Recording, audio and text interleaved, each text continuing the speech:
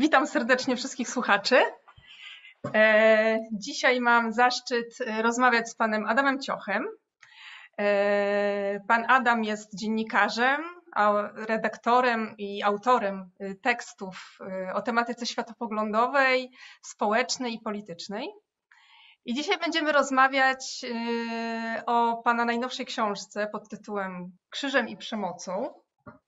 Pokażę, jak wygląda. Ukazała się ta książka w lutym tego roku, czyli już troszkę czasu minęło, ale jest to jakby kontynuacja, mm, można powiedzieć kontynuacja, jakieś uzupełnienie poprzedniej, y, poprzedniego tytułu, y, która została wydana w zeszłym roku. Epidemia manipulacji, jak chronić przed religijną manipulacją siebie i bliskich. Tak, to ja, ja, ja dzień dobry Państwu, ja, po, ja pokażę tę pierwszą książkę. O proszę. Tak wygląda pierwsza książeczka. Pan jest również autorem znanych tytułów, tak mi się wydaje, że znanych, y, książek, które, które również polecam, y, mianowicie Ojciec Nieświęty oraz Bez Miłosierdzia Jana Pawła II Wojna z ludźmi. Polecam również do przeczytania te pozycje. Co jest ciekawe, mm, y, wszystko się zgadza, tak? Tak, dzień dobry Państwu raz jeszcze. Tak, wszystko się zgadza. Co do tych dwóch ostatnich książek, to jestem ich współautorem. Po, e, w, jednej jestem e, autorem tekstu, a w, drugim jestem jedną z osób, której, której Piotr Szumlewicz, autor, z, z którą przeprowadzał e, rozmowy. Dobrze. Tak. Co ciekawe, pan Adam jest z wykształcenia teologiem katolickim i protestanckim. Nie bardzo to też to pasuje, prawda. Nie bardzo to pasuje zapewne do tytułów, można by tak powiedzieć, do tytułów y, książek, jakie wydał. Jest pan, jest pan, studiował pan na Katolickim Uniwersytecie Lubelskim i y, uzyskał pan dyplom na Chrześcijańskiej Akademii Teologicznej w Warszawie. I o tej swojej ciekawej historii yy, związanej z tymi uczelniami również opowiada Pan w swojej najnowszej książce. Polecam przeczytać. Yy, co jest dla mnie ciekawe, yy, Pan opisuje swoją historię jako osobę głęboko, że był Pan kiedyś osobą głęboko wierzącą, yy, podchodzącą do wiary bardzo yy, poważnie. Yy, określił się Pan wręcz jako fundamentalista religijny. Został pan zapewne ochrzczony i wychowany jako katolik. Tak. Y, a potem przeszedł pan na protestantyzm. Mhm. I w końcu w wieku 31 lat został pan zdeklarowanym ateistą. Więc można powiedzieć, że jest pan niekwestionowanym specjalistą w temacie religii, chrześcijańskiej mhm. zwłaszcza. I to zarówno w sferze teoretycznej, jak i praktycznej. I może pan spojrzeć na tematy religii zarówno od religii i Kościoła katolickiego, e, zarówno od środka, jak i jako teolog, e, mając wiedzę teoretyczną na temat religii, jak też e, ze strony takiej, mm, jak i od zewnątrz, gdyż gdyż może Pan teraz spojrzeć na to jakby trzeźwym okiem, będąc już poza Kościołem, poza religią. Mm. I doświadczył Pan tej religii osobiście. Poszukiwał Pan, doświadczył Pan poszukiwań, wątpliwości i odejścia od tej religii. Więc ja bym chciała zapytać, jak to się stało, że taka osoba jak Pan jest autorem takich książek, tego typu książek mhm. i co Pana tak motywuje osobiście do pisania takich książek? Do, do, dlaczego powstała ta ostatnia książka? Do kogo Pan te książki kieruje? Dziękuję. Pani strasznie dużo o mnie wie, trochę się boję. Prawie wszystko, ale to tak żartujemy. No wszystko jest też w tych książkach, taka jest prawda. Y, ale mogę odwrócić, y, odpowiadając na Pani pytanie, mogę odwrócić je, właściwie powiedzieć, a kto, jak nie ktoś taki jak ja, powinien takie książki pisać? To znaczy, y, mówiąc w skrócie, o przejściach pisze człowiek po przejściach Rzeczywiście użyła Pani sformułowania osoba głęboko wierząca.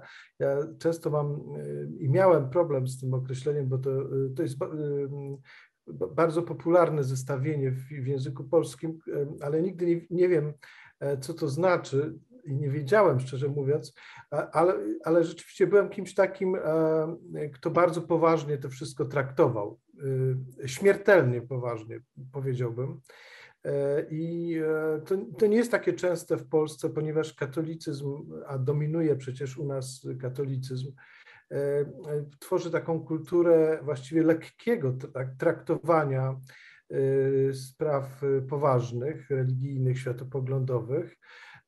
Z jednej strony katolicyzm głęboko ludzi zniewala i często wyniszcza, rzuca się cieniem na ich życie, ale z drugiej strony sprawia, że nic nie jest na serio ponieważ y, religia, w której sercu jest celibat, a w sercu katolicyzmu jest kler, bo tak naprawdę Kościół to jest kler, a kler żyje w celibacie tak zwanym, e, w takim kościele nic nie może być na serio, ponieważ celibat jest oszustwem. O tym wszyscy wiedzą.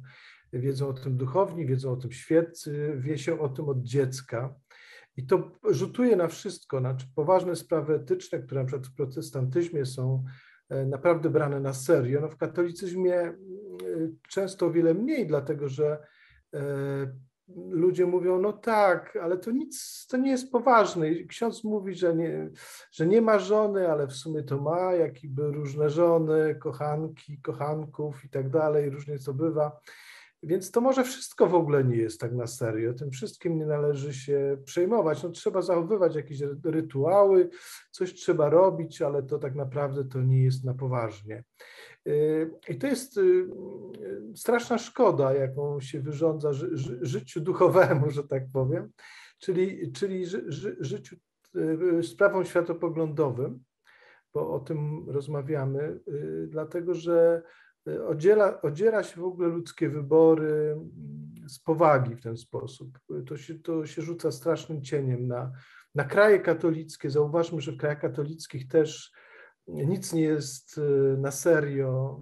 Pomyślmy o Polsce, pomyślmy o Włoszech, takim kraju sztandarowym katolickim, gdzie jest mafia, która robi sobie spotkania w klasztorach, rekolekcje bosów mafii i tak dalej. To, to wszystko to jest jeden wielki cyrk po prostu.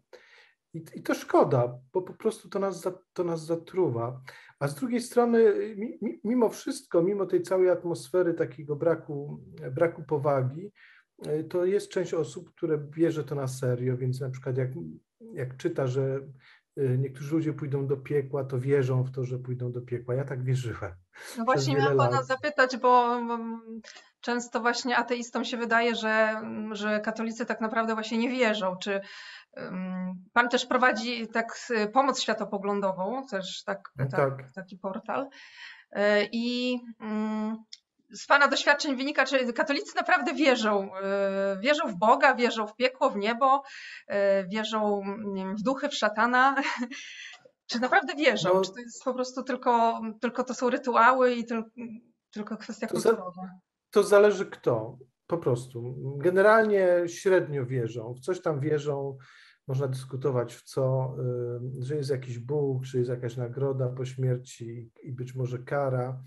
Y, to jakoś tam większość katolików chyba wierzy, czy ma nadzieję może bardziej niż wierzy, że ta nagroda zwłaszcza będzie.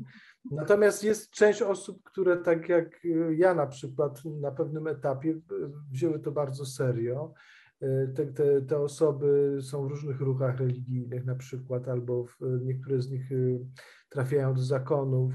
Ja nigdy nie byłem na szczęście, bo pewnie bym tego nie przeżył, ale, ale, ale, y, ale byłem w różnych ruchach religijnych. Zresztą dlatego w ogóle to wziąłem na serio, bo jako nastolatek, taki wczesny nastolatek, to byłem tak jak wszyscy inni. No, traktowałem to wszystko trochę z przymurzeniem oka, a Potem mnie przestraszono na, w ruchu oazowym, jeśli Państwo wiedzą, co to jest. Ruch Światło Życia albo ruch oazowy to jest od kilkudziesięciu lat w Polsce bardzo popularne w niektórych środowiskach młodzieżowych.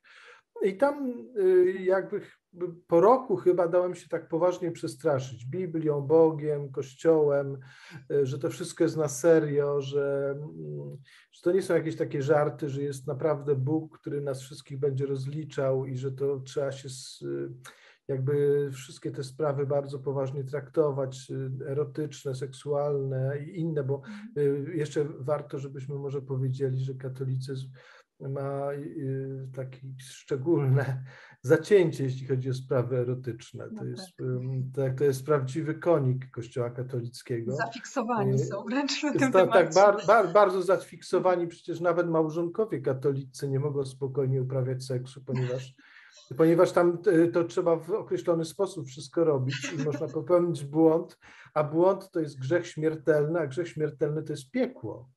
Więc to tak. wszystko, to wszystko jest bardzo straszne, tak. Dlaczego, czyli, a dlaczego, jak pan myśli, e, w takim razie, dlaczego ludzie wierzą?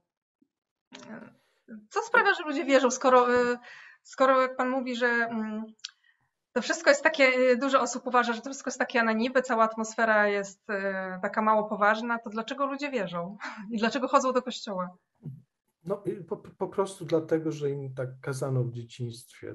Jest, y, odpowiedź na to pytanie jest bardzo prosta i e, ja nie mam co do tego wątpliwości. Ja nie wierzę w tak zwane potrzeby religijne, że one są jakieś powszechne i że ludzie jakby z natury potrzebują Boga, i że to jest takie naturalne. Jest mnóstwo mitów rozpowszechnionych na ten temat, które Kościół zresztą między innymi upowszechnia, na przykład, że wszyscy ludzie na świecie wyznają jakąś religię, albo że wszyscy wierzą w Boga i tak dalej. Nie. Wierzą tam, gdzie im się kazano im wierzyć jako dzieci, tam, gdzie ta e, sztafeta pokoleń religijnych została przerwana z różnych względów historycznych, kulturowych, na przykład w Czechach, na przykład w Estonii, żeby spojrzeć tylko na kraje, które są blisko nas, e, czyli tam, gdzie większość ludzi jest po prostu niereligijna, tam kolejne pokolenia dzieci nie mają potrzeby wierzenia w Boga. To znaczy, zawsze się znajdą oczywiście jakieś osoby, które prędzej czy później padną jakby ofiarą propagandy religijnej, y, bo ona wszędzie się toczy, także w Czechach i także w Estonii.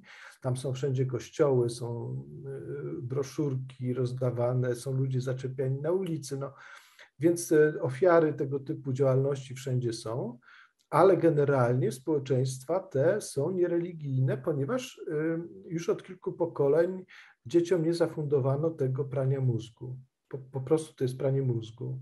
I e, więc e, religia nie jest moim zdaniem czymś, jak to się często mówi, naturalnym, mhm. że to wszyscy muszą wierzyć, jak tak. nie w Każdy to, to co wierzy. innego.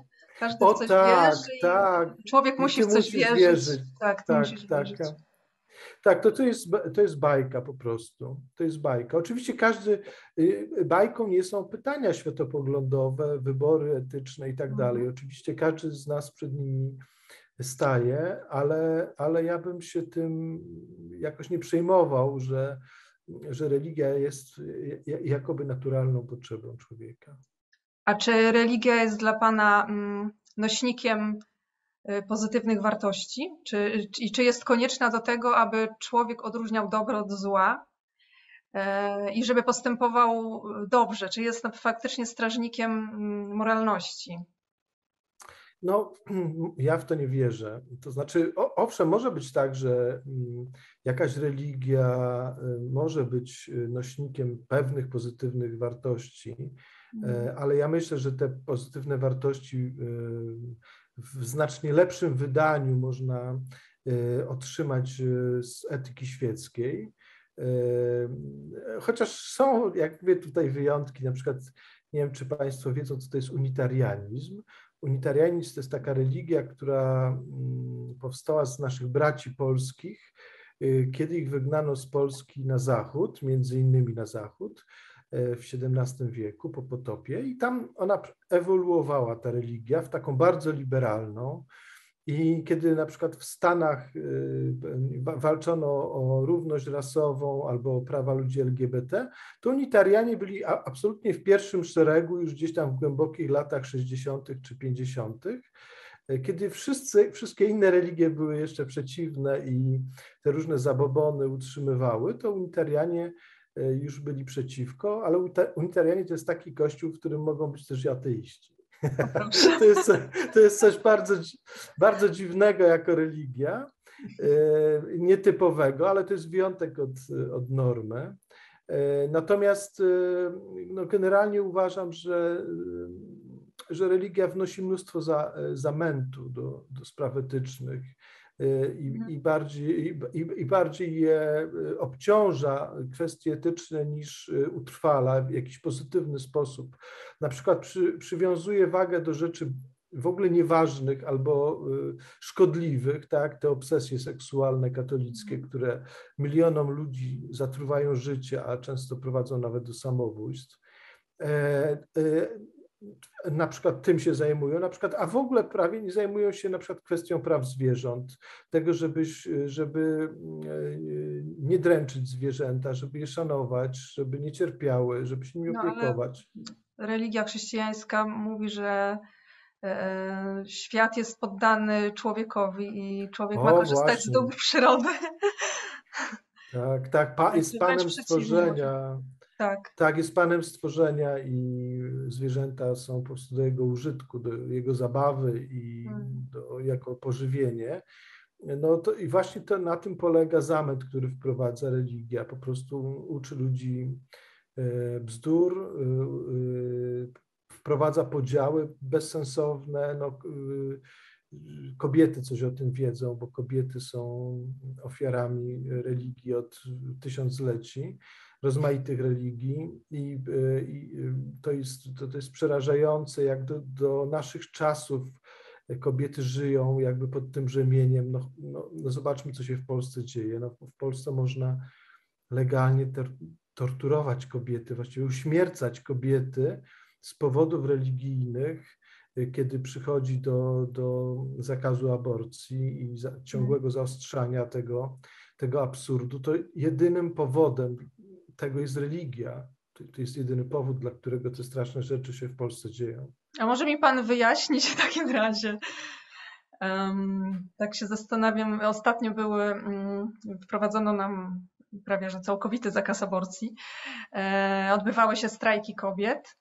E, I jak można to wytłumaczyć, że Pol Polki nie widzą w ogóle związku między e, tym zakazem aborcji który został wprowadzony, a religią e, katolicką, którą wyznają i kościołem katolickim, do którego chodzą. I e, takie kobiety idą jednego wieczoru, idą na taki strajk, a następnego dnia idą do kościoła i posyłają swoje dzieci na lekcje religii, gdzie ich dzieci dowiadują się tego, że ich mama jest morderczynią i że płód jest dzieckiem nienarodzonym i i aborcja jest jednym wielkim złem. Skąd się. Ja nie rozumiem, dlaczego ludzie tego nie widzą tego związku po prostu. No, bo to jest taki nawyk. To, to znaczy, generalnie ludzie często się zachowują nieracjonalnie w bardzo wielu kwestiach, niestety.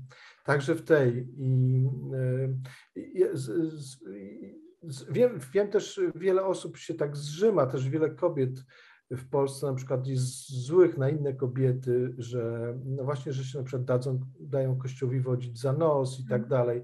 A ja zawsze mówię tak, że, że to jest niestety normalne. To znaczy, że kobiety były niszczone przez tysiące lat y, po prostu tą propagandą religijną, tego, tym wmawianiem, że są gorsze, że powinny siedzieć cicho i tak dalej, i tak dalej. I e, to nie jest tak, że takie gadanie, takie, taka indoktrynacja od dziecka e, e, powod, powinna spowodować bunt, tak wielu z nas myśli, i, i niektóre kobiety się buntowały i buntują. Nie, taka propaganda niszczy po prostu, ona po prostu niszczy, niszczy przede wszystkim poczucie wartości, niszczy e, wolne myślenie i, i, ja się nie dziwię, że, e, że wiele kobiet nie dostrzega takich rzeczy.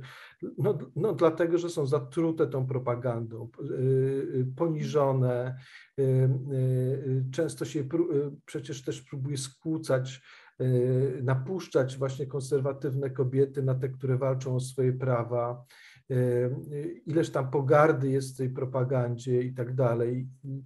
To, to jest zupełnie, to może podam przykład, żeby to zilustrować taki z trochę innej dziedziny.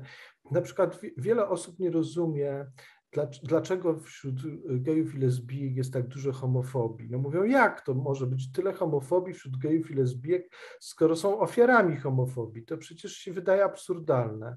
Ale, te, ale tak jest. Dla, dla, jest dlatego, też wielu że... katolików wśród gejów i lesbijek i to jest tak, również tak jest. niesamowite. Niesamowite, tak, tak, ale to jest to trucie trucie i to cały czas wmawianie gejom i lesbijkom, że są kimś gorszym, że się muszą kontrolować, że muszą uważać, że, że jeśli ktoś coś mówi zbyt głośno, to gdzieś tam podświadomie gej czy lesbijka czuje, że to może być niebezpieczne dla niego, że to może zwrócić uwagę na niego. A przecież przez tysiące lat y, y, gej czy lesbijka mogli przetrwać właśnie odwracając od siebie uwagę odwracając od siebie uwagę, udając, że jest się kimś takim jak każdy inny i tak dalej.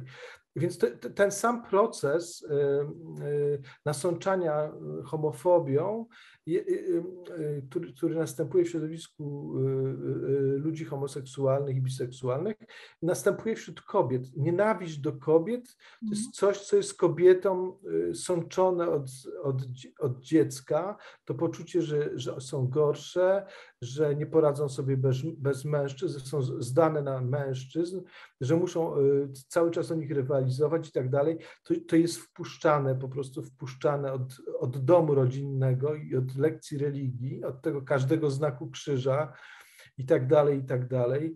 E, ten kult dziewictwa, który też jest częścią tej trucizny, na przykład w katolicyzmie, który, który jest bardzo Ba, ba, ba, bardzo mocno, że ten y, y, seks brudzi, że brudzi jakoś szczególnie kobiety, a jakby mężczyzn mniej, niby nie wiadomo dlaczego. Ale to, to jest taka trucizna, którą od dziecka y, jesteśmy nasączani wszyscy. I, ko, I kobiety, tym bardziej kobiety właśnie. Dlatego, że, że Kościół potrzebuje niewolnictwa kobiet, poddania kobiet, żeby funkcjonować tak, jak funkcjonuje, żeby ta kasta mężczyzn, ten kler Mhm. Prosperował. Um, uważa, obarcza Pan za to winę, winą um, Kościół, czy również religię samą chrześcijańską? Bo z tego, co mi wiadomo, to w treściach Pisma Świętego znajdują się e, właśnie takie, takie treści, że kobieta powinna być posłuszna mężowi, e, kobieta nie ma prawa głosu. Również przeciwko mm, osobom LGBT właściwie przeciwko homoseksualistom, mężczyznom mhm. właściwie jest. E, są treści również w Nowym Testamencie zawarte, że homoseksualizm jest powiedziane dokładnie, że homoseksualizm jest grzechem. E, więc czy to jest nadinterpretacja Kościoła katolickiego, czy faktycznie to chrześcijaństwo e, jednak stoi przeciwko osobom LGBT i przeciwko kobietom? Ja, ja, myślę, że chrześcijaństwo przede wszystkim. I katolicyzm jest jakby specyficznym takim wytworem, taką korporacją stworzoną na bazie chrześcijaństwa, korporacją religijną i biznesową jednocześnie.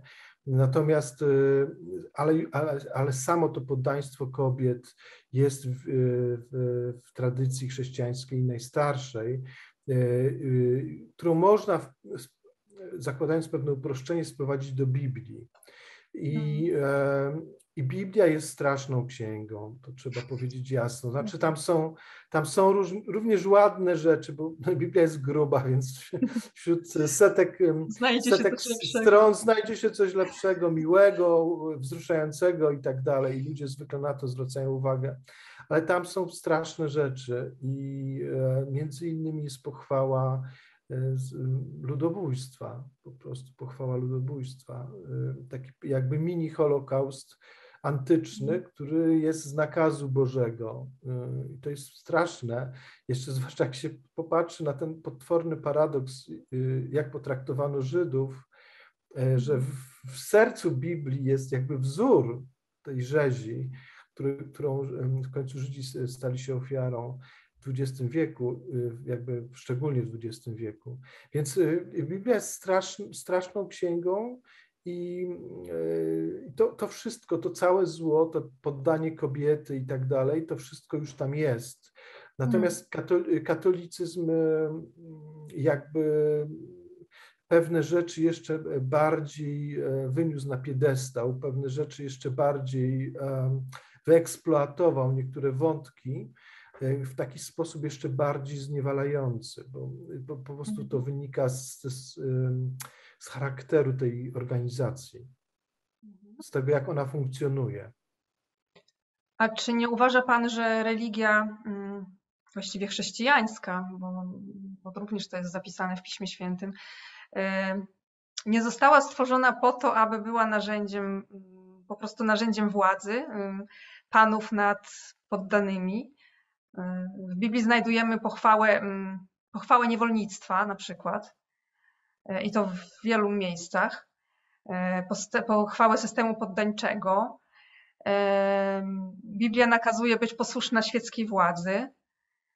E, czy, czy to nie, czy to religia nie została stworzona, religia chrześcijańska nie została stworzona już z góry jako narzędzie, narzędzie właśnie władzy panów? No, na pewno była bardzo używana y, jako podpora władzy panów, władzy y, panów nad niewolnikami, y, mhm. feudałów nad chłopami i tak dalej, mężczyzn nad kobietami, a przede wszystkim kleru nad świeckimi. E, natomiast no, jest, tam jest mnóstwo tekstów, które się znakomicie nadają do, do tego. Natomiast no, ja się nieraz zastanawiałem właściwie po co ten kościół został stworzony jak, jak to tak naprawdę było. I wydaje mi się, że, że to było tak, że po tej klapie, jak, jaka wyszła z Jezusem z Nazaretu, to znaczy kiedy się to nie udało, kiedy on został tam zamordowany, jeśli istniał, jeśli ta cała mhm. historia w ogóle jakoś tam, choćby w grubych zarysach jest prawdziwa, to y, co mieli zrobić jego uczniowie, których on namaścił na y, książęta Królestwa Bożego na ziemi, a tu zamiast Królestwa Bożego przyszła klapa, mówiąc w skrócie. I e, ja myślę, że oni po prostu pociągnęli ten wątek dalej i, e, no i po prostu się urządzili. Ci prości ludzie, którzy mieli być książętami w Królestwie Bożym na ziemi pod dowództwem Mesjasza, Mesjasz znikł, a oni się dalej urządzili. E, proszę zauważyć ten wątek, który jest w dziejach apostolskich już, kiedy tam ludzie majętni przynoszą pieniądze do apostołów Mhm. i oddają im te pieniądze i to jest bardzo ważne, bo tam jest takie, takie małżeństwo, taki wątek małżeństwa, które mm, ukryło część pieniędzy i padło trupem w ramach kary boskiej z tego powodu, że ukryli te pieniądze. Ja myślę, że to, tu, już widać, tu już widać zastraszenie y, i e, że, że to było ważne, żeby te pieniądze trafiły tam, gdzie trzeba, czyli do liderów organizacji. E, one oczywiście też służyły biednym, ale też myślę, że ci liderzy się dobrze przy okazji urządzili, jak to zwykle bywa przy działalności charytatywnej. I, i e, e, ja myślę, że to po to istniał, e, chrześcijaństwo powstało, ze względu na dobro kleru, a jest, e, kler potrzebuje mm, też jakby wsparcia od możnych, a Nowy Testament również jakby dostarcza narzędzi panowania możnych nad całą resztą i, i to tak działało. Kler się miał mhm. dobrze, możni się mieli dobrze, reszta czekała na pójście do nieba. Obietni, obietnica nieba. Tak, tak. Życie doczesne nie jest y, ważne. Cierpcie cierpliwie. Oczywiście. Czeka was nagroda w niebie. Życie doczesne nie jest ważne dla tak. biednych, bo dla, boga, dla bogatych jest bardzo ważne, jak się okazuje, bo potrafią o siebie zadbać. Tak. Mówi się tak o chrześcijaństwie, że e, stoi po stronie biednych i uciśnionych. E, tak mo może takie fragmenty można tam znaleźć, ale... Ale tak, tak, oczywiście tam e, Biblia jest tak gruba, że znajdziecie do, wszystko. wszystko. Miłość, podburzanie do zabójstwa kat wielu kategorii ludzi, E, co tam chcecie, romantyczne kawałki, e, pieśń nad pieśniami, która jest dość ładnym takim erotykiem, na przykład, też jest w Biblii, a jakże, wszystko co chcecie, ale generalnie jest tam przemoc, e, przemoc głównie na linii psycho, psychopatyczny Bóg i lud, E, no i oczywiście pośrednicy między tym psychopatycznym Bogiem, który ciągle chce, żeby go chwalono, mu służono i żeby wszyscy mu byli posłuszni, no i kler, który to egzekwuje jakby na różne, na różne sposoby. A kto się nie podporządkowuje woli Boga, ma być nawet ukarany śmiercią, jak było powiedziane w Piśmie Świętym. A czy mm, bo mówi się tak, że katolicy, że Kościół katolicki zakłamuje religię i że religia nie może być usprawiedliwieniem dla przemocy, dla wojen. Um, wojen na tle religijnym. E, okazuje się, że ta, mm, to, y, ta religia była przez całe wieki wykorzystywana właśnie jako mm, usprawiedliwienie wręcz działań wojennych, usprawiedliwienie krwawych chrystianizacji. I tak naprawdę w Piśmie Świętym można znaleźć poparcie dla, dla, ta, dla, dla, dla takich y, tez. Tak, tak, y, bo tak jest rzeczywiście. Y, znaczy, mnóstwo, zresztą religia przede wszystkim wprowadza podziały, skłóca ludzi ze sobą. No, Europa była poligonem wojen religijnych nieskończonych. I, i co cały czas trwa, przecież jeszcze ja, ja pamiętam bardzo dobrze, moje pokolenie pamięta ten konflikt katolicko-protestancki w Irlandii, bomby wybuchające, to, że jak ktoś poszedł do jakiejś dzielnicy w Belfaście, powiedział, że jest katolikiem, to go zaciukali, a jak ktoś poszedł do innej dzielnicy i powiedział, że jest protestantem, to z kolei jego zaciukali. Mówiąc tak językiem bardzo potocznym, to przecież to się działo w naszych czasach wszystko, to się nie działo 400 lat temu. Y, y, y, proszę zauważyć cały konflikt na Ukrainie na przykład, który ma błogosławieństwo rosyjskiego kościoła prawosławnego, został przedstawiony już w pierwszym dniu i w pierwszym tygodniu, najpierw przez Putina, a potem przez y, patriarchę Cyryla, jako rodzaj krucjaty religijnej w obronie wartości. Nie wiem, czy Państwo pamiętają, że y, y, to była taka krucjata. W języku propagandy rosyjskiej istnieje takie słowo gejropa. To jest takie pogardliwe złożenie słowa gej i Europa. I przecież y, oni tam szli na Ukrainę, żeby między innymi oczywiście walczyć z nazizmem, ale też walczyć y, z antywartościami europejskimi, wśród których naczelną jest tolerancja dla ludzi LGBT, to jest, y, uchodzi to za antywartość z punktu widzenia tej prawosławno-wielkorosyjskiej propagandy. I Cyryl to też powtórzył, że nasi chłopcy po to idą do Kijowa, żeby tam już nie było więcej parad równości. To, on to wprost powiedział.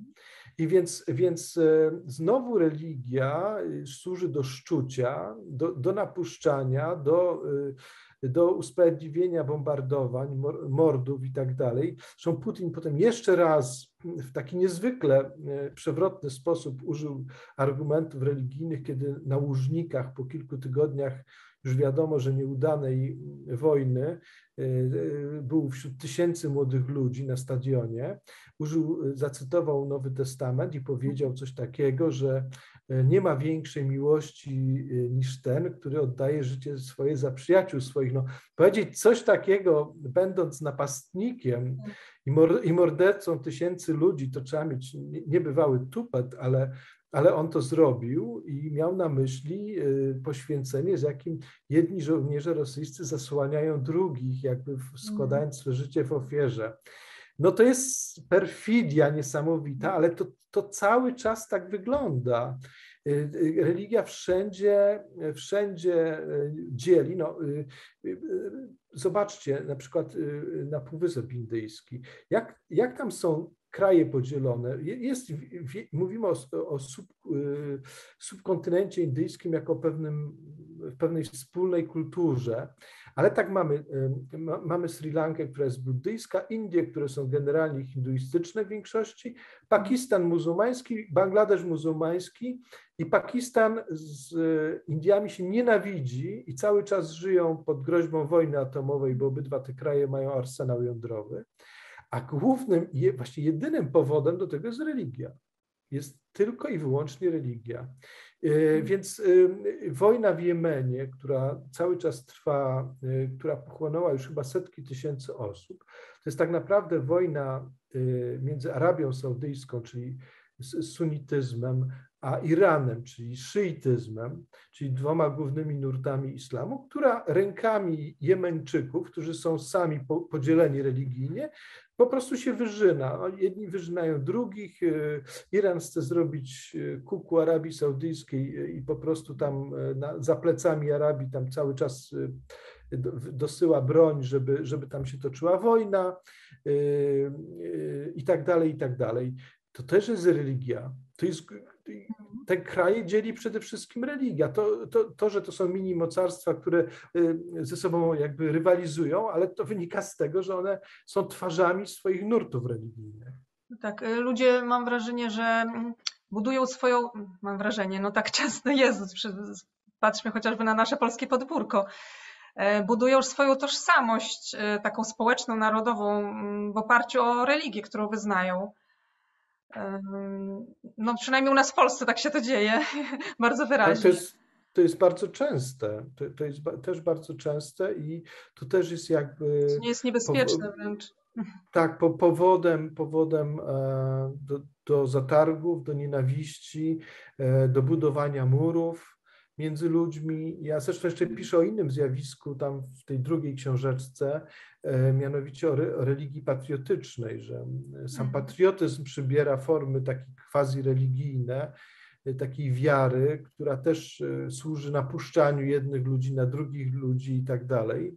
Tutaj mm, klerem tej religii są politycy. Ja to tak nazywam trochę że to jest, e, to jest kler religii patriotycznej, który zresztą zwykle żywi głęboką pogardę dla swoich rodaków. Zresztą widzimy to w Polsce. Przecież mhm. to, co robi obecna władza, to jest nieustanna wojna polsko-polska, a wszystko to jest pod biało-czerwonym sztandarem. Tak, ale y, religia jest właśnie często, właściwie często, może i zawsze takie, tak, tak było w różnych religiach, bo również w tych religiach antycznych, e, była powiązana z władzą bardzo ściśle. E, no. Kapłani mieli zawsze wysokie, najwyższe pozycje społeczne i, i rządzi, właściwie no, rządzili całym społeczeństwem. Tak, no, y, y, często, często bywało tak, że y, te kasty polityczne i religijne były ze sobą powiązane. Czasami były to te, te same środowiska, czasami jakby współzależne od siebie. Specyficznym tworem jest katolicyzm, który mm, nie tyle służy państwu, co właściwie on chce, żeby państwa jemu służyły. To jest, to jest takie bardzo ciekawa konstrukcja. Ja za słowackim Juliuszem nazywam Kościół katolicki wdową po Cezarach rzymskich. To jest wdowa, wdowa po Cezarach, to jest kościół, który, który jakby usiadł na tronie cesarzy i próbuje odgrywać cały czas próbuje odgrywać rolę dawnych cesarzy, tylko już w innej dziedzinie. To jest cesarstwo rzymskie religijne. To jest cesarstwo rzymskie religijne. Uważają, że stoją ponad prawem.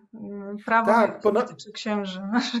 Tak, i, i, ponad prawem, i ponad państwami. Oni, oni chcieliby jakby rozdawać karty. Oni chcieli, zresztą tak, tak robili w Europie, zwłaszcza średniowiecznej, kiedy, kiedy oni rozstrzygali kto powinien rządzić w danym kraju, kto powinien być królem, kto nie powinien być już królem, bo podpadł kościołowi na przykład. Przypomnę historię z Bolesławem Śmiałym w Polsce, przecież jego zatarg z biskupem Stanisławem i potem y, zmuszenie króla do jakby do upokorzenia się.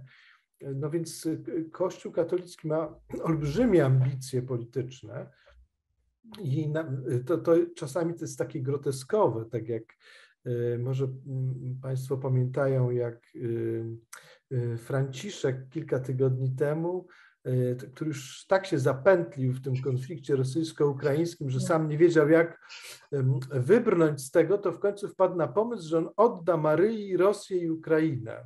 Był, był taki weekend, kiedy on to, e, to zrobił. I jakie to, zauważcie, tam jest ten wątek władzy nad światem, bo on sobie wyobraża, że on jest takim mega cesarzem, który te kraje y, może wziąć i komuś ofiarować. W ogóle niesamowite to jest.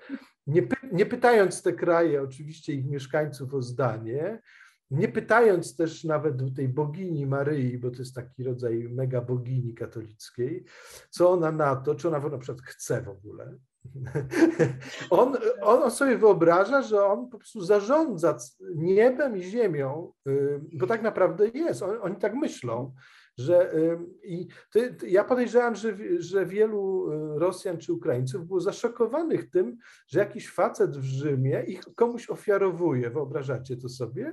Nagle się, się dowiadujecie, że wasze miasto czy wasze państwo jest ofiar- jakiś facet tam dziwnie ubrany, mówi, że on to komuś daje. Jak, jak, jak daje, to znaczy, że on myśli, że to ma. Y, to jakoś, w jakiś sposób taki. I to jeszcze nie do końca ich Bóg, bo to jednak nie jest religia katolicka, prawosławna. Tak, tak, no, tak, tak, no bo tym bardziej, że no, w, na Ukrainie jest trochę więcej katolików, tak, zwłaszcza tak zwanych grekokatolików, czyli mhm. prawosławnych, dawniej przekabaconych na katolicyzm.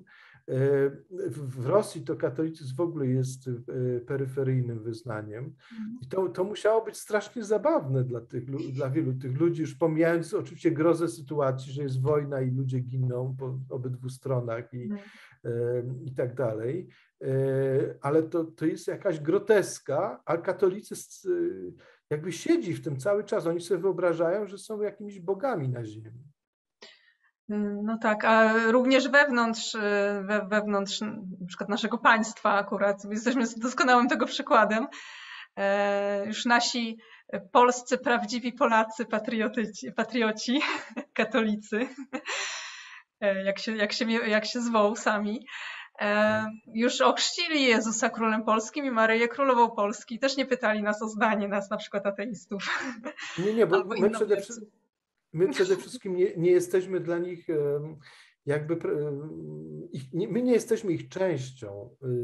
Y, z punktu widzenia prawicowego y, Polaka katolika, to takie osoby y, jak ja, jak pani, jak wielu z naszych słuchaczy, po prostu my jesteśmy na zewnątrz, my nie jesteśmy prawdziwymi Polakami, my jesteśmy jakimiś półpolakami, zdrajcami, jakimiś, jakimiś niedorobionymi i tak dalej. Oni nas w ogóle nie biorą pod uwagę. Być Polakiem e, to znaczy być katolikiem. Nie można być Polakiem nie będąc katolikiem. To jest właśnie niesamowite kłamstwo, które zbudował, zbudował Kościół katolicki. Ja się próbuję e, jako no, publicysta e, tą kwestią trochę zająć i próbuję włożyć kij w szprychy tej propagandzie. Właśnie przede wszystkim w tej, w tej drugiej książeczce, tak. o tej. Porusza Pan tam te tematy tak, no próbuję w ogóle, żeby, żebyśmy się zastanowili, zachęcam do tego, skąd się ten katolicyzm wziął, jak on tu był wprowadzany, bo bajka, y, którą nam podają i na religii, i w szkole, jest taka, że był pan, bardzo mądry pan Mieszko, który pomyślał sobie, kurde, zostanę katolikiem. Naprawdę to jest to, czego nam wszystkim potrzeba. E, i e, ożenił się z e, katoliczką, katolicką księżniczką z Czech. I, no i wszyscy powiedzieli, rzeczywiście, zawsze chcieliśmy być katolikami, marzyliśmy o tym, szliśmy o tym po nocach. Tak. Wszyscy rzucili tą religię i z radością przyjęli tych niemieckojęzycznych księży, którzy przyjechali do Polski, żeby chrzcić tutaj, no i po prostu, i potem wszyscy żyli długo i szczęśliwie już jako katolicy. Znaczy, mówiąc w skrócie, bo tak, tak jest to nam przedstawiane, tak, tak jest to nam tak, przedstawiane od dziecka. Nie tylko, nie tylko na religii, na lekcjach historii przede tak, wszystkim. Tak, tak, oczywiście. Infantylna bajka jest nam sprzedawana. Nie mówi się nam, że to była przemoc, że Polacy, mhm. czy Polacy, ludność kraju, który się nazywał już jakoś tam powiedzmy Polan, buntowali się przeciwko temu wielokrotnie, że wybuchło w 1038 roku wielkie powstanie, które ja nazywam pierwszym powstaniem narodowym, przeciwko Kościołowi, przeciwko tym piastom upiornym, którzy którzy mhm. im zabrali ludziom wolność i jeszcze e, e, narzucili nową jakąś absurdalną religię i podatki mieli zamiar narzucić na Kościół, bo to też jest nie bez znaczenia. Mhm. Więc e, e, 1038, słuchajcie, to jest trzy pokolenia po chrzcie Mieszka. Czyli trzy pokolenia się kotłowało jeszcze i, i, ludzie czekali, aż ta dynastia w końcu osłabnie, żeby ją z siebie zrzucić. I mm, kiedy Kazimierz, który przez Kościół został nazwany odnowicielem, bo Kościół odnowił w Polsce i, i to panowanie swojej rodziny, e, zresztą rodziny psychopatycznej, gdzie tam brat brata oślepiał, zabijał i wyganiał i tak dalej. E, więc w tej wesołej rodzince, która nam przyniosła katolicyzm, e, jak on tu wrócił po tym powstaniu? No wrócił z armią niemiecką, z oddziałami niemieckimi, a potem jeszcze zaprosił y, armię Wielkiego Księstwa Kijowskiego, y, Księstwa Kijowskiego, Rusi Kijowskiej, y, która była już wtedy chrześcijańska i w ten sposób wprowadzono tu chrześcijaństwo, więc chrześcijaństwo, mówiąc językiem, językiem naszego, prawda, głównodowodzącego Polską, to, jest, to było kondominium niemiecko-ruskie. Czyli to, było, to była Polska Kazimierza Odnowiciela, to było państewko, które dzięki armii, obcym armiom przywróciło katolicyzm. Polacy w ogóle nie mają o tym pojęcia. Mhm. Żyjemy w świecie baśni, po prostu w świecie bajkowym. Opowiada nam się też tak, że mm, na przykład bardzo to, ta historia jest taka tragikomiczna.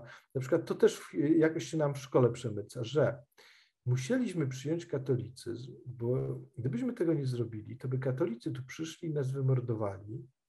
E, czyli katolicy w domyśle. Sami o sobie również świadczą tymi słowami, tak naprawdę. tak, tak. Więc, ale Bójcie się nas, jest... bo, bo, bo, was pomordujemy.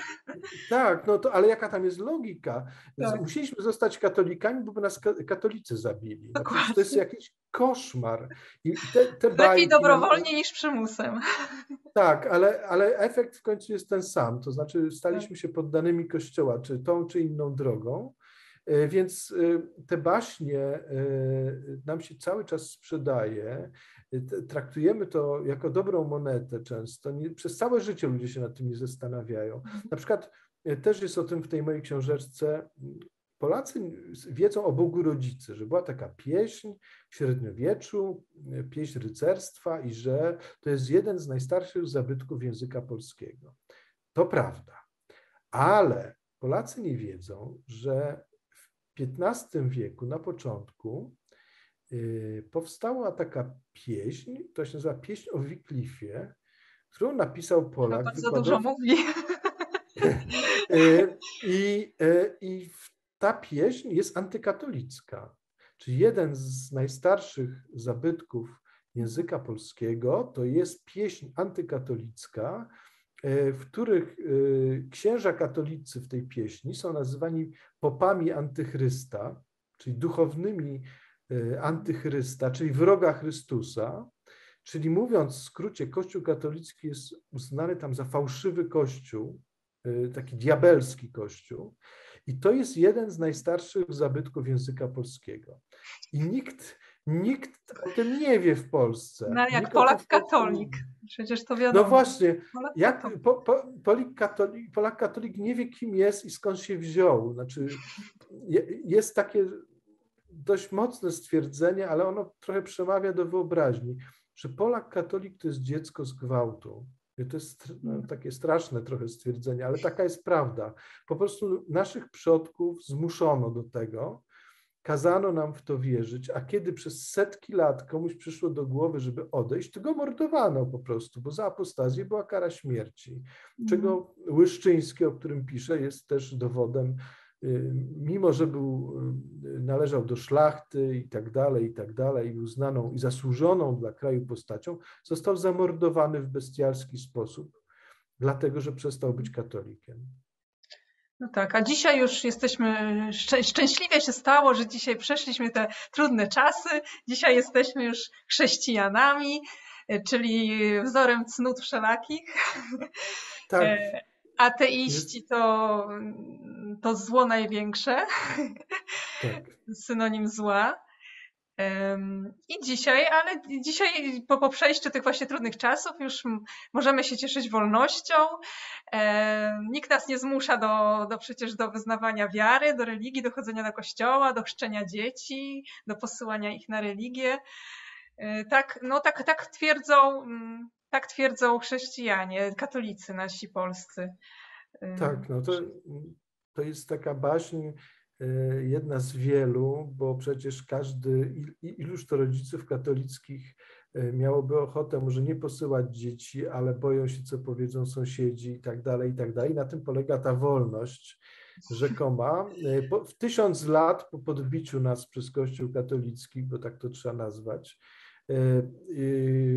jeden z publicystów ateistycznych, Adam Patrzyk, znalazł taki dokument, i opublikował go sprzed 100 lat zaledwie, e, którym e, to, jest taki dokument, z którego wynika, że e, w Rosji carskiej, czyli na dużej części obszarów Polski, do I wojny światowej, czyli do, właściwie do upadku Rosji carskiej, za krytykę chrześcijaństwa można było dostać 10 lat łagru w ogóle chrześcijaństwa.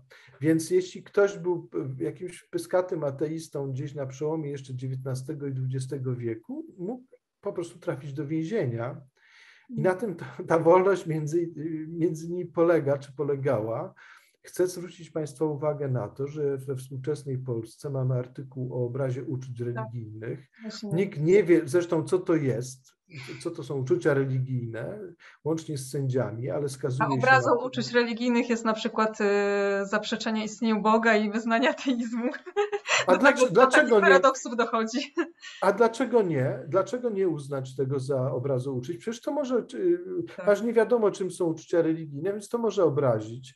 Zresztą nikt też nie, nie zwraca uwagi na to, że że przecież e, uczucia religijne są wewnętrznie sprzeczne. Znaczy, e, na przykład to, co jest świętością dla katolików, na przykład Chrystus zamieniony w opłatek, w tą hostię taką okrągłą, mhm. którą się nosi w Bożym ciele, w czasie Bożego ciała po, po miastach i po wsiach, to dla protestantów lub świadków Jehowy jest odrażające bałwochwalstwo.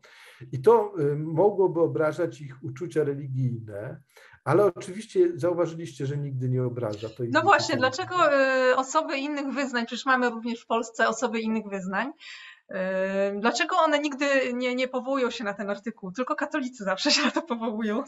No właśnie, no właśnie dlaczego? Bo po pierwsze się boją zadrzeć z silnym, a po drugie mają świadomość, że takie prawo zostało ustanowione nie po to, żeby ich chronić, tylko hmm. po to, żeby dać władzę sile przewodniej, czyli Kościołowi katolickiemu, aby chronić interesy Kościoła katolickiego.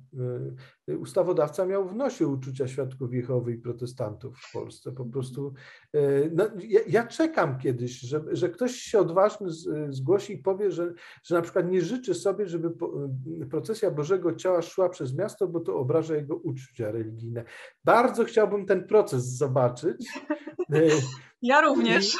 I, I, chciałbym na przykład, bo nie wiem, czy Państwo wiedzą, że w Polsce sądy na taką okoliczność powołują biegłych, a biegłymi są zwykle duchowni katolicy. I chciałbym na takim procesie zobaczyć, jak biegły, jak biegły ksiądz, jakiś tam teolog, mówi temu protestantowi, który po, po, pozwał proboszcza, że, że nie ma prawa mm, czuć się urażony na przykład. To, myślę, że to byłby cyrk do pokazania po prostu na wielkim ekranie kinowym. Naprawdę. E, w ogóle słuchałam kiedyś rozprawy, mm, e, gdzie była, była oskarżona osoba, e, autorka tej tęczy wokół w Matki Boskiej. I to było dla mnie niesamowite, że świecki sąd polski powołuje się na powołuje się na wykładnię mm, katolicyzmu, na Pismo Święte i decyduje o tym, co jest obrazą Boga, a co nie jest obrazą Boga. Świecki sąd stosuje takie, taką argumentację.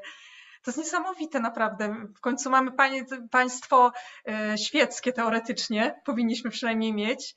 I nie po to są świeckie sądy, żeby zastanawiały się nad y, prawdami religii. Tak, no to jest nie, niesłychane w ogóle. Tym mhm. bardziej, że mamy w Konstytucji tą bezstronność władz w kwestiach światopoglądowych i okazuje się, że do tych władz należy władza sądownicza, a nagle się okazuje, że ta władza sądownicza wydaje wyroki w sprawie czegoś, w sprawie religii, w dodatku czegoś tak mrocznego, jak uczucia religijne, ponieważ wiemy, czym są przekonania religijne. Jedni mają takie, drudzy inne. To się da jakoś określić, to się da jakoś nazwać. Natomiast co to są uczucia religijne? To jest mgła. To jest prawdziwa mgła i nikt tego nie jest w stanie rozgryźć. Można pod to podpiąć wszystko. Tak, dokładnie. Właściwie dla mnie to się niewiele, mm, może różni się tylko karami, które obecnie obowiązują, ale sama, sam ten proces y, przypomina mi świętą inkwizycję. To jest właściwie niewiele, mm, tak naprawdę się niewiele różni, tylko, tylko już dzisiaj nie, nie pali się ludzi na stosach. No tak, no jeszcze wyobraźmy sobie sytuację, że istnieje w Polsce coś takiego jak katolicki związek sędziów, czy coś takiego. Tak, e, tak. Więc wyobraźcie sobie, że sędzia, który e, orzeka w takiej sprawie z tego katolickiego związku sędziów, powołuje biegłych, którzy są duchownymi katolickimi, y, którzy mają y, opiniować, czy coś jest wykroczeniem, czy nie, no to to już jest proces świętej inkwizycji, kiedy y, ktoś, kto jest niekatolikiem, staje przed obliczem katolickiego sędziego i duchowny, tak. który udaje bezstronnego biegłego, orzeka o jego winie, co jest niesłychane w ogóle jakieś. To jest, to, to, to, aż trudno uwierzyć, że to jest, że to jest możliwe. I nakłada również na e, osoby innego wyznania i na ateistów e, również znajomość e, dogmatów katolickich, bo właściwie skąd mamy wiedzieć, że obrażamy czyjeś uczucia tak naprawdę? Nie no mamy tak, obowiązku tutaj... przecież znać wykładni czyjejś wiary. No tak, ale to, to, już nawet nie chodzi nie tylko o wiarę, ale w ogóle zastanawiam się, kto miałby orzekać w kwestii uczuć, czy, czy na przykład psycholog to jest ktoś, kto się zna na uczuciach na przykład. I czy, kto, czy to jest, no bo rozumiem, że biegły ksiądz się zna na uczuciach i jest w stanie coś tam powiedzieć, że jakieś uczucia są, a może, a dlaczego ksiądz, a nie psycholog na przykład? I w takim przypadku, czy to psycholog katolicki na przykład zna się bardziej na uczuciach religijnych niż inny psycholog, na przykład ateistyczny? No to, to są niesłychane rzeczy. Ja współczuję tym wszystkim sędziom, że się muszą tym zajmować, chyba że lubią i że to rzeczywiście, y, no to wtedy im nie współczuję, ale y, no, żyjemy w jakimś absurdzie, tysiąc, ponad tysiąc lat po podboju, którego padli ofiarą y, nasi przodkowie. I to, to ciągle nie ma końca po prostu. To ciągle nie ma końca. Hmm. No dobrze, czy, czy jeszcze co, właściwie wszystkie te, te, te, te rzeczy, o których rozmawiamy, to Pan tak naprawdę porusza w tej swojej książce najnowszej. E, no jest tak. takim, takim jakby kompendium, mi się wydaje, naszych e, stosunków e, polsko-kościelnych. Tak, tam jeszcze pisze też o faszyzmie i roli Kościoła. Mm, tak, oskarża Pan katolicyzm i tą naszą religię patriotyczną, jak Pan to nazwał, o właśnie o o, o właściwie o przemoc y, i o wspieranie faszyzmu w Europie. Tak, no ja stawiam taką tezę, że, że nie, nie jest do pomyślenia europejski faszyzm i jego sukcesy w latach 30. i 40., na szczęście zakończone klęską, bez katolicyzmu. Przede wszystkim faszyzm, przypomnijmy, że nazizm to jest już jakaś tam odmiana faszyzmu. Faszyzm narodził się we Włoszech i Mussolini y, miał olbrzymie wsparcie Kościoła katolickiego na każdym etapie. Mussolini jest ojcem Watykanu, bo niektórzy myślą, że Watykan to jest coś, co istnieje, państwo Watykan, co istnieje od tysiącleci. Nie, to nie istnieje od tysiącleci. To jest dziecko faszyzmu europejskiego, traktatów laterańskich, czyli umowy między Mussolini a Kościołem katolickim. Więc to, ponieważ Włosi 100 lat wcześniej zlikwidowali państwo kościelne, a y, faszyzm włoski go odrodził w postaci Watykanu państwa watykańskiego, o czym prawie nikt nie pamięta. Wszyscy sądzą, że to już istnieje kilka tysięcy lat, a to jest po prostu, Watykan to jest coś, co nie uległo defaszyzacji po wojnie niestety, czego nie zlikwidowano razem z likwidacją europejskiego faszyzmu. Przypomnę, że e, faszyzm wygrał w Hiszpanii e, tylko dlatego, że wspierał go Kościół katolicki, bardzo, bardzo był takim żywym uczestnikiem tej wojny, potwornej wojny domowej e, i represji, które później.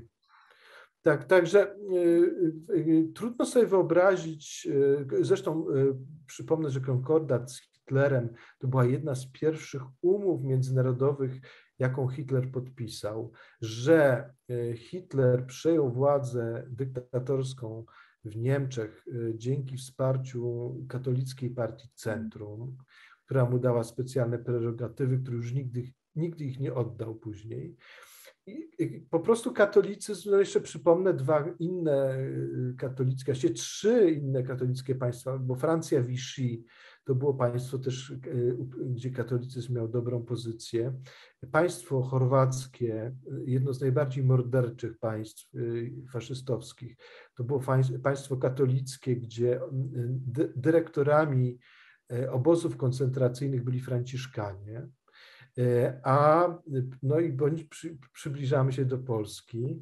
Słowacja faszystowska miała za premiera księdza, księdza Tiso, i ten ksiądz 1 września 1939 roku napadł na Polskę. Ksiądz napadł na Polskę, tak. Razem z trzecią Rzeszą.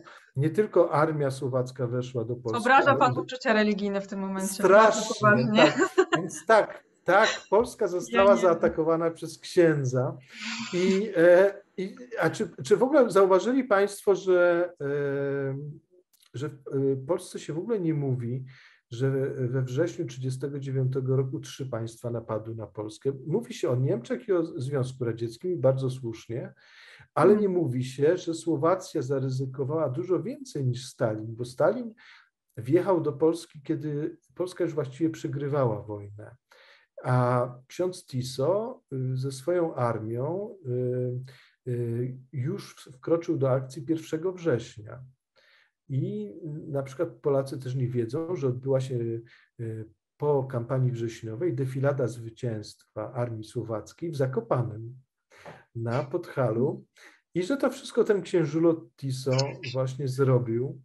E, księżulot Tiso, którego Watykan bronił aż do śmierci, ponieważ po wojnie za zbrodnie e, sąd czechosłowacki skazał go na karę śmierci i Watykan do ostatniego dnia walczył, żeby temu zbrodniarzowi e, uratować życie. Tak, tak, takie są najgrubsze Watykan związki. również pomagał w ucieczce zbrodniarzom no tak.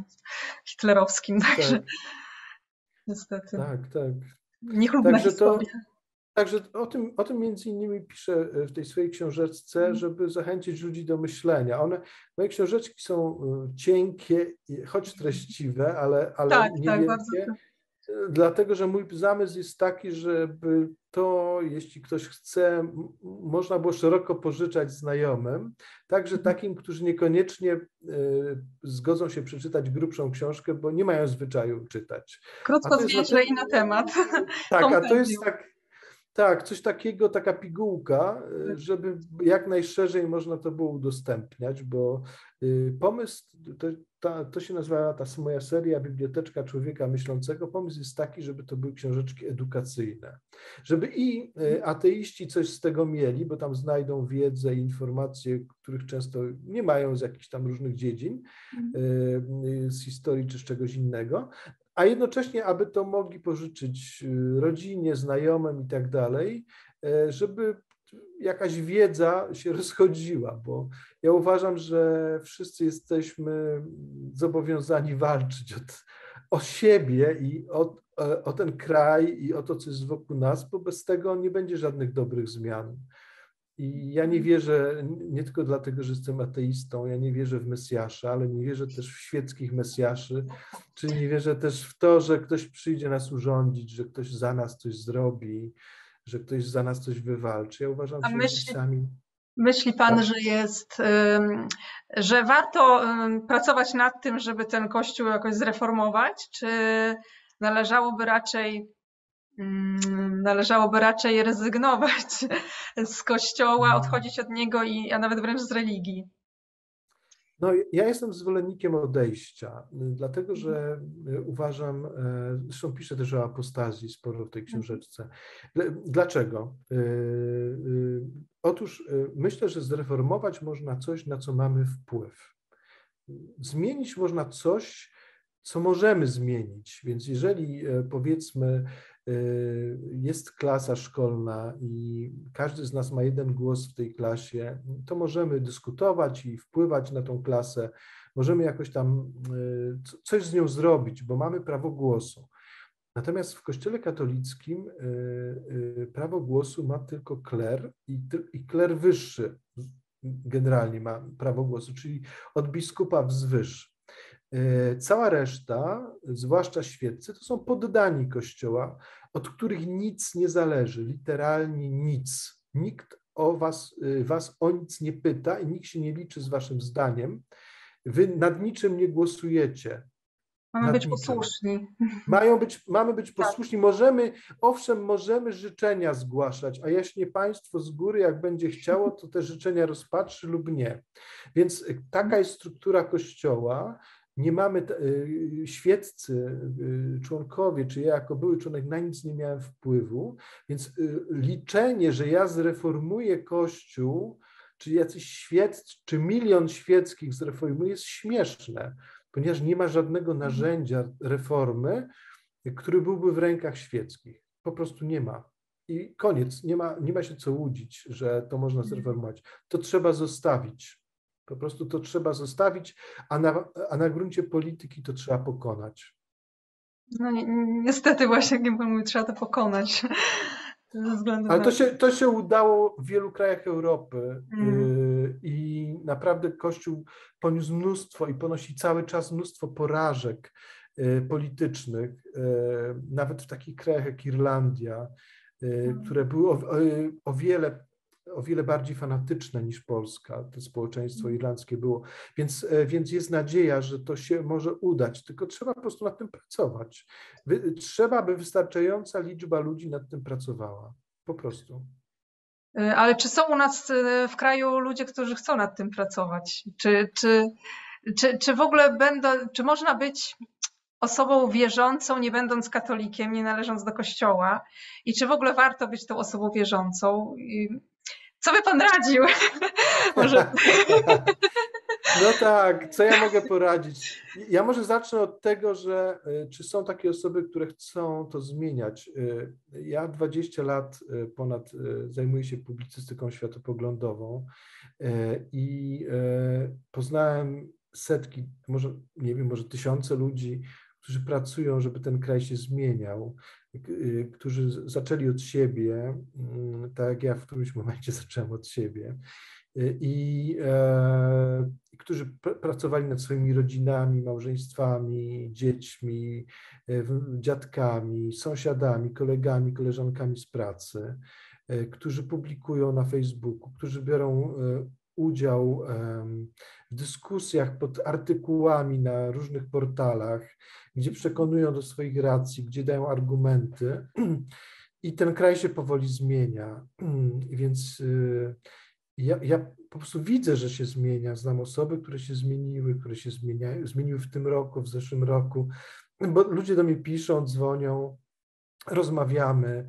E, e, też patrzę na, na e, moją rodzinę i widzę zmiany i myślę, że, że po prostu to jest możliwe, bo takie są fakty. I tylko to jest kwestia tego, jak bardzo będziemy nad tym pracować, jak szeroko to pójdzie. I jeszcze jedna rzecz, którą chcę powiedzieć, to że wykorzystujmy czas, który jest teraz, kiedy to jest jeszcze możliwe, dlatego że ta wojna mi uświadomiła między innymi to, że nagle z dnia na dzień sytuacja może się zmienić i będziemy musieli się zajmować innymi rzeczami. Pewne rzeczy pójdą w odstawkę, bo trzeba będzie życie ludzkie ratować. Trzeba będzie się zająć jakimiś innymi rzeczami i, I wtedy nie będzie już sposobnego czasu na tą pracę światopoglądową, którą tysiące ludzi w Polsce wykonują. A co ja bym radził w kwestii religii? To, żebyśmy przede wszystkim postępowali zgodnie z sobą i z tym, co jest w nas, e, zgodnie z tym, do czego sami doszliśmy, żebyśmy się nie dali nikomu zastraszyć, e, żebyśmy zawsze trzeźwo patrzyli na życie i na siebie i e, no, ja jestem niereligijny od dwudziestu kilku lat i bardzo jest mi z tym dobrze. Myśla, jak byłem religijny, to myślałem, że myślałem sobie, że stracę wszelką nadzieję i sens życia, jak przestanę być religijny. Ale okazało się, że moje życie tylko odzyskało wigor, kiedy, kiedy porzuciłem religię, więc polecam to wszystkim. Świat się nie zawalił. To, świat się nie zawalił. Tak, wręcz przeciwnie, wręcz przeciwnie. Więc e, polecam wszystkim, ale to jest coś, do czego każdy z nas musi dojść sam i nikt za nas tego nie zrobi, ale tu nie ma się czego bać i e, często, często słyszę takie głosy w debatach internetowych, kiedy ktoś mówi, E, wrócisz jeszcze na kolanach do tak, kościoła. To chyba każdy z ateistów to słyszy. Tak, no. Ja tylko widzę, jak słyszę coś takiego, to widzę ten strach, który jest w tym człowieku, bo hmm. ktoś chce mnie przestraszyć tym strachem, którym on sam jest zastraszony, bo tak, taka jest prawda. Taka jest tak. prawda. To, to trzeba tym ludziom od razu mówić. Po prostu boisz się, dałeś się zastraszyć, ale tak nie trzeba żyć, nie, nie musi tak być. Chciałabym ten ciekawy wątek poruszyć, bo yy, mówi Pan o, yy, o, o, tych radach, yy, jeśli chodzi o kwestie światopoglądowe. Prowadzi Pan też tą poradnię światopoglądową, jak bym to nazwała, i rozmawia Pan z różnymi ludźmi. Jakie jest Pana zdanie na temat na temat y, psychologów chrześcijan. To są takie również organizacje, y, psychologowie chrześcijańscy i często spotykam się, raczej ja się spotykam, słyszałam takie ze strony księży wręcz zniechęcanie osób do korzystania z usług psychologów, jeżeli nie są oni właśnie, nie deklarują się jako chrześcijanie, gdyż może to zaszkodzić ich E, wierzę. E, mhm. Jak się, jak się Pan na to zapatruje? W ogóle, jak, co Pan sądzi na temat wnikania religii w psychologię, w psychoterapię? No, mnie, mnie, mnie, to zawsze niepokoi, tak, wnikanie e, religii w jakiekolwiek świeckie rzeczy. Zawsze z tego jest jakieś nieszczęście. Znaczy, ja myślę, że duchowni generalnie mają problem z psychologią, dlatego że oni się uważają za doradców e, swoich tak. wiernych I, i psycholog to jest dla nich trochę konkurencja i to jest ktoś, kto im trochę odbiera klientelę, e, mhm. więc oni się to, o to, ich to martwi, bo po prostu to im psuje biznes. Y, oni sądzą, że mm, no, psycholog chrześcijański to jest takie y, trochę, no, jak już musi być psychologia, no to niech już będzie ta chrześcijańska. No dobra, trudno. No. Więc dlatego oni, y, oni polecają tych chrześcijańskich psychologów, ale mnie chrześcijańscy psycholodzy martwią, dlatego że ja się spotkałem z, no, z różnymi smutnymi skutkami ich działalności. Najbardziej tak to, co się rzuca w oczy, to na przykład wysyłanie niektórych pacjentów do egzorcystów. Wiem, że y, katolicy psychologowie się tym trudnią czasami, bo jakoby nie potrafią pomóc y, komuś, więc uważają, że, że pomoże egzorcysta, co jest oczywiście koszmarem jakimś. Poza tym nie jest prawdą, że nauka nie potrafi pomóc Y, osobom z tego typu zaburzeniami. Jest y, nawet specjalna jednostka chorobowa od wielu lat znana, to się nazywa zaburzenia transowe. Y, mhm. to, na co cierpią tak zwani opętani. Tak, najczęściej zapewne tam. Ta, tak, i, i, i, i to jest dla mnie katastrofa, jeśli, jeśli się wysyła chorego. Jeszcze jak się to robi pod płaszczykiem nauki i mówi się, że nauka tu już nie ma nic do powiedzenia, proszę iść do egzorcysty. To jest po pierwsze kłamstwo, po drugie straszna krzywda i do mnie się też zgłaszały osoby, które y, są poszkodowane przez egzorcystów i przez różne takie poradnie katolickie, psychologiczne. Niektórym z tych osób się udało jakby wyjść cało z tego i uwolnić od zgubnego wpływu E, tego mhm. typu e, ludzi, no to, to jest bardzo smutne i ja bardzo przed tym e, przestrzegam, dlatego że to po, po prostu to do, do, niczego nie, nie prowadzi. Zresztą mm. proszę zauważyć, że tak zwane osoby opętane to są zawsze ludzie wierzący. Tak. Ateistów opętanych raczej nie mają problemu z opętaniem. Tak, tak, tak. To jest bardzo ciekawe. To tak samo jak jest z tymi, co mają objawienia maryjne. Jakoś nie mają ich protestanci. O proszę. To no. tylko katolicy mają objawienia. Tak, tak. A, a jeżeli chodzi o, jeżeli załóżmy, psychologowie, e, twierdz, ci chrześcijańscy psychologowie twierdzą, zarzekają się, że oni e, nikogo nie nawracają, oni są obiektywni, nie narzucają nikomu e, religii.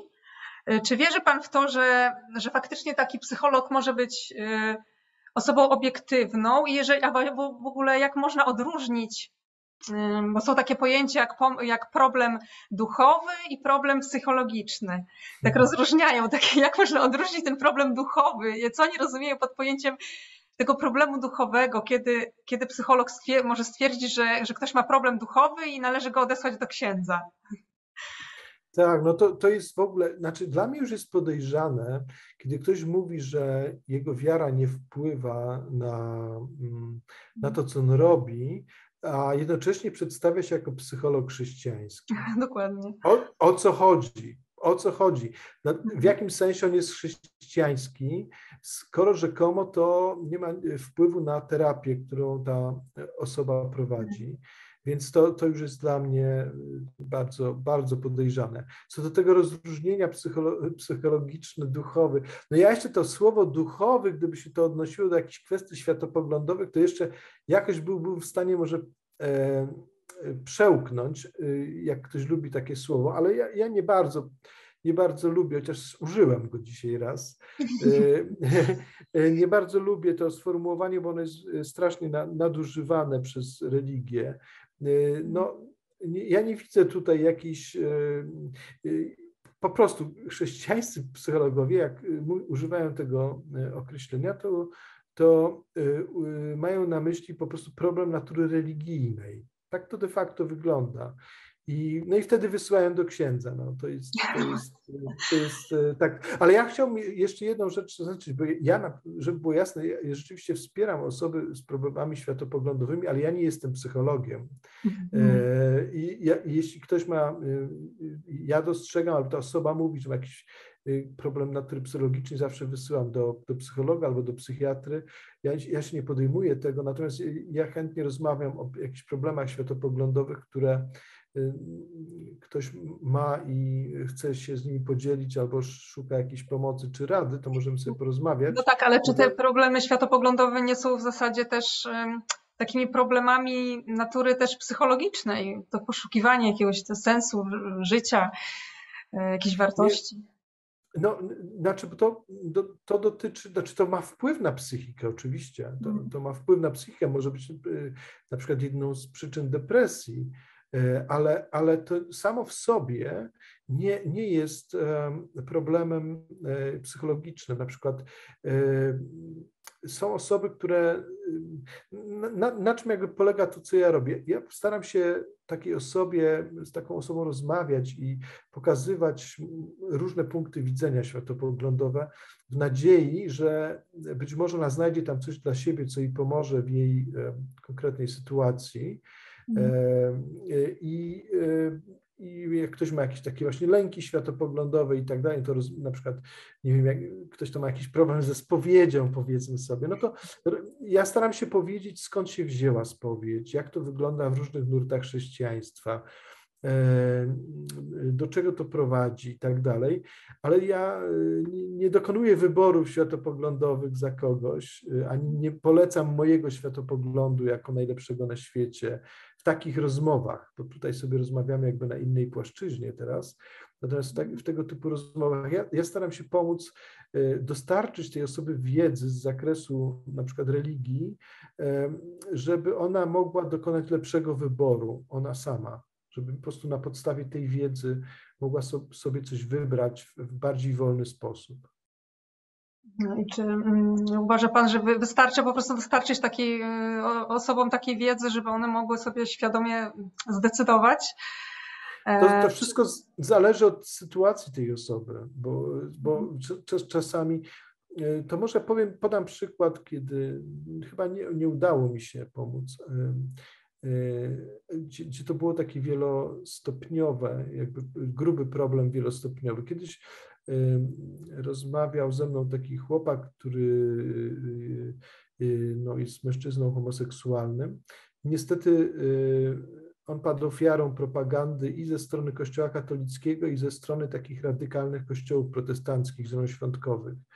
Mhm. I on był tak zaszczuty religią, tak zatruty nienawiścią do siebie, samoodrzuceniem, że on się, znaczy mnie intrygowało to, że on był strasznie wychudzony. Pomyślałem, że może choruje, no różne są historie, prawda, w życiu.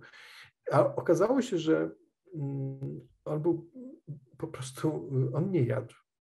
Znaczy on nie jadł, bo uważał, że powinien umrzeć, bo Bóg go nie kocha.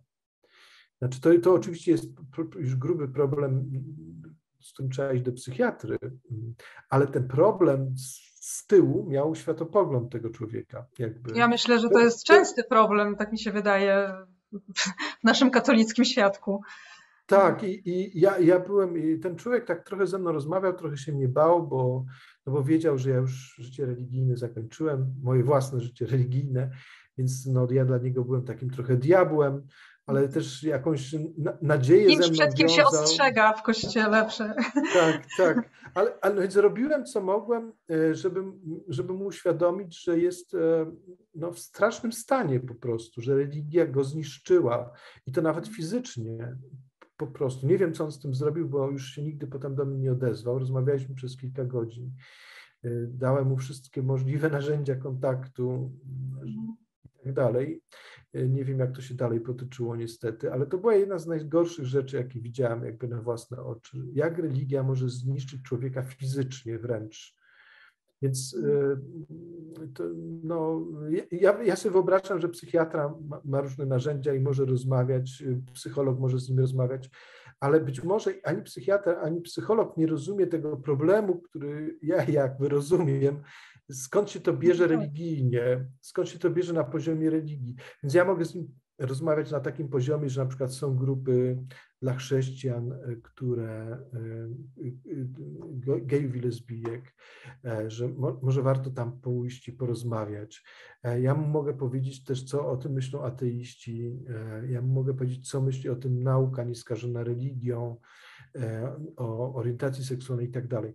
Natomiast oczywiście to, co on zrobi, to jest jego, jego wybór, ale chcę powiedzieć, na czym polega jakby ta sprawa pomocy światopoglądowej. To nie jest mhm. zastępowanie psychologa czy psychiatry, to jest e, rozmowa na takim poziomie, który jest jakby e, niezwiązany z psychologią i z psychiatrią. Tak jakby poszerza e, Pan horyzonty i przedstawia różne punkty widzenia. Tak, tak, bo ja, ja wtedy miałem świadomość, że, że walka idzie o życie tego człowieka po prostu. Więc mhm. mi, mi nie chodziło o to, ja jestem ateistą, ale tu w tym momencie nie chodzi o to, żeby on był ateistą, tylko żeby on, jego życie było do wytrzymania, mówiąc w skrócie, no tak. on był w stanie żyć. Znaczy pan zakończył tą swoją książkę tak właśnie optymistycznie. E, widzi pan szansę dla naszego kraju e, uwolnienia się z tej niewoli katolickiej. Ja powiem szczerze, że jestem bardzo pesymistyczna, jeśli o to chodzi, obserwując nasze społeczeństwo, y, bo widzę tą presja religijna jest bardzo silna. Ja też pochodzę mm, ze wschodniej Polski, z lubelskiego województwa aktualnie. I no niestety u mnie, z tego co pamiętam z młodych lat, to ta religia bardzo sil, silny, silny wpływ miała na, na, na mnie i na, i na osoby w moim wieku. Teraz to się pewnie troszeczkę zmieniło, ale z tego co mi wiadomo też nie do końca. E, więc pan jednak widzi, widzi sprawę bardziej optymistycznie i zachęca pan do, do właśnie otwierania, otwierania horyzontów i do poszerzania swojej wiedzy na, na, na, temat, na temat religii. Sądzę, y, Pani Agnieszko, że Pani nie jest aż tak y, pesymistyczna, jak pani twierdzi.